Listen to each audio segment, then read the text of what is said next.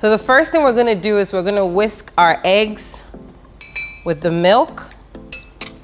So we're gonna start whisking this.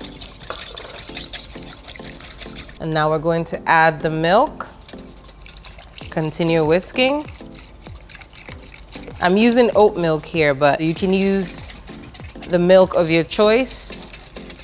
So I'm going to add a pinch of salt and then some sugar.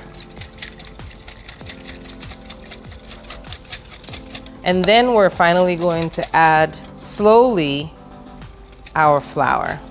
You don't want to dump all of it inside, especially because you're using your hands. It might clump up on you. And so a little at a time, you pour and then you whisk. You want it to be nice and smooth, almost velvety.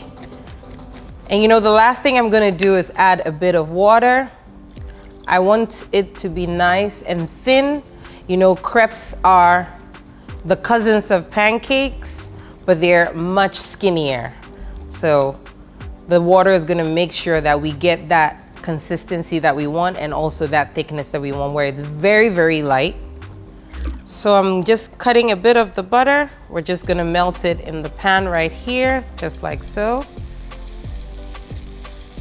Next, I'm gonna get my measuring cup so it's easy for me to eyeball how much is going onto the pan. You start in the center and then you just move until you cover. You want a beautiful, nice round.